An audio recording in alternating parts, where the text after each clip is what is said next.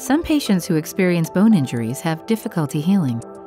To overcome fracture challenges, doctors commonly prescribe a treatment called bone growth therapy, also known as bone growth stimulation, such as the Orthofix AccelStim device. AccelStim stimulates the bone's natural healing process by sending low intensity pulses of ultrasound waves to the fracture site. This non invasive treatment promotes healing at the non union fracture site or accelerates the healing process of indicated fresh fractures. The device is worn for 20 minutes a day externally, providing direct signal to the fracture site during treatment. When used as prescribed, bone growth stimulation therapy creates a significant increase in healing for patients with non union fractures or accelerates the healing process of indicated fresh fractures, helping them return to their normal activities.